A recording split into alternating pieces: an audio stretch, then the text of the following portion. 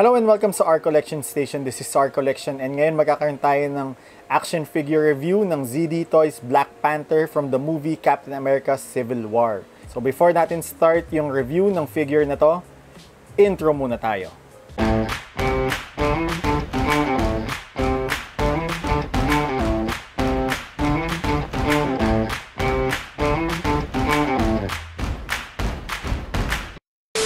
Ito na yung figure ni Black Panther from the movie na Civil War. So ito yung isa dun sa mga unang mga figures na na-release ni ZD Toys na licensed na sila by Marvel. So itong figure pala na to, nakuha ko pala to kay Laroanan. Again, thank you Sir Mark para sa figure na to. Kung gusto nyo makakuha ng ganito mga figure, lalagay ko yung link ng Facebook page ni Laroanan at saka yung Shopee page doon sa link sa description sa baba. Before natin i-check yung actual na figure, tignan muna natin yung box. So itong packaging ng ZD Toys na to, ito yung parang second nilang style ng packaging. Yung una kasi is yung naka blister card lang siya. Pero yon walang stand yon. Ito may kasamang stand. So yung style ng box, ayan, may window siya para makita nyo kaagad yung actual na figure. Tapos dito, si Captain America, si Iron Man. Tapos nandito yung title ng movie. Tapos ito, Marvel. Tapos ito, Avengers. Ayan. Dito makikita nyo yung seal ng Disney para ipakita na authentic siya na action figure. Sa bottom, mga other mga informations na hindi naman natin mabasa dahil Chinese. Ayan, ZD Toys. Dito sa side, yung image ni Iron Man at saka ni Captain America. Tapos yan din yung Civil War. Yan, same lang din sa kabilang side. Sa back, maganda yung artwork nila. Hindi ko lang alam kung bakit siya sinama. Hindi naman siya nakipaglaban dun sa airport scene. Pero yaan nyo na. Kasama na lang siya. Pero yan nga, no? So, ito maganda siya. Tapos ito parang may silhouette ng shield ni Captain America. So, ngayon, i-unbox na natin siya. Ito na si Black Panther out dun sa packaging. First impression ko sa kanya, uh, okay naman na. Mamaya ipapakita ko na lang yung perang kung ano yung mga medyo naalanganin ako sa kanya. Pero yung figure, okay naman. Tapos maganda na din dahil may kasama na din siyang stand. Yun lang, wala siyang ibang kasamang accessories. So ngayon, i-check natin siya in detail. Ito, first na first na problem na nakita ko sa kanya, malamang kayo din, mapapansin nyo, meron siyang mata.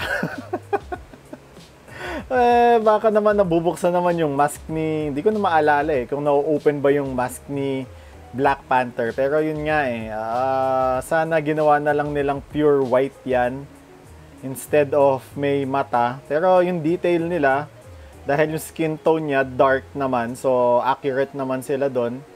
Ayan. Up, zoom natin. Ayan, o, oh, ayan. So, ayan, may mata siya. Maganda naman sana yung pagkaka-paint nila dun sa mata. Kaya lang sa pagkakaalam ko, white lang sana talaga siya dapat. So, kung ginawa nilang white lang to, eh, okay na talaga. Sulit na talaga. Tapos napansin ko pala dun sa mask is medyo hindi sila ganun ka-accurate kasi sobrang dami nung pagkaka-paint nila ng silver. Parang dapat ito lang na to yung may silver. Kasi ito black na to.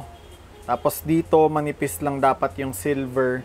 So ito yung mga siguro nagsa-start pa lang si ZD Toys sa mga movie figures tapos hindi pa nila nakukuha ng detail. Pero kung magaling naman kayo mag-paint, pwede nyo namang i-paint siya para maging black talaga yung ibang parts. Kasi, kaya nga sa Black Panther, hindi naman Silver Panther. Eh. Pero, yun nga, uh, pwede nyo namang remedyohan kung magaling naman kayo mag-paint. Ang nagustuhan ko dito is yung texturing nila. Ayan o, no, kitang-kita nyo yung mga texture ng figure. Kaya, kung sa texturing naman, sulit na sulit naman siya. Pero dito sa lower part naman, ito, nakuha naman nila ng tama in yung detail. Tapos dito, yan, dito, dito lang yung may, may kulay. Yan. Kumbaga talagang sumablay lang sila sa detail, sa head sculpt lang talaga. Dito, pero sa lower part, okay naman. So ngayon, check naman natin is yung articulation naman niya. So sa articulation naman niya, yung head niya nakakaikot ng 360. Tapos dahil ball joint siya, galaw-galaw. Pero pwede na siyang tumingala ng ganyan yan. Tapos pwede siyang yumuko ng ganyan lang. So, konti lang. Sa shoulders naman, wala pa dito yung gimmick nila na napupull. Doon sa Iron Man nag-start yon So, naiikot naman siya 360. May bicep cut naman. Tapos double jointed yung elbow pero medyo kahit na double jointed siya, ganyan lang yung kaya niyang i-bend. Tapos naiikot yung wrist. Sa torso, nagagalaw naman ng ganyan yung sa torso. Sa waist, wala siyang yung sa walang waist movement. Tapos dito meron din siya yung pull down gimmick nila. Yan. Tapos pwedeng iangat hanggang ganyan para pagka pinul niya siya, medyo mas may extend ng konti yung, yung articulation niya. Sa knees naman, double jointed siya. Tapos may ankle pivot din naman siya dito. So check naman natin is yung height niya. So yung height ni Black Panther, medyo nahihirapan lang ako siyang itayo ng ganyan. Ah, tumutumba siya. So ginamit ko na lang yung stand niya. Height niya is nasa kulang-kulang 7 inches. Parang lampas lang ng konti ng 6 and a half inches siya. So ngayon, i-compare natin siya sa ibang mga action figure. So ito, kay Stanley ng Marvel Legends, kay Mando ng Star Wars The Black Series, Red Ranger ng Mighty Morphin Power Rangers, Cobra Commander ng G.I. Joe Classified Series, Superman by McFarlane Toys, and ZD Toys Iron Man. So nakita natin ngayon yung figure review ng ZD Toys Black Panther. So ako kung i-rate ko yung figure, uh, out of 10, 5. 5 out of 10 lang siya sa akin. Okay naman sa articulation, sa details, passable naman. Kaya nga lang yun nga, yung sa helmet, medyo hindi ko talaga nagustuhan. Tapos medyo, uh, yung proportion niya, uh, parang nalalakihan ako dun sa katawan compared dun sa kamay at saka dun sa paa niya. Parang hindi proportion yung katawan niya. Pero kung gusto nyong i-collect yung lahat ng mga ZD toys na figure, sige, kunin nyo na lang siya. Pero kung uh, may makikita kayo na Black Panther na Marvel Legends, siguro mas may recommend ko yung Marvel Legends talaga na Black Panther. So sana nag-enjoy kayo dun sa review ng figure na to. Kung di pa pala kayo nakasubscribe sa channel ko, ano pa hinihintay ninyo, click nyo na yung subscribe button sa baba.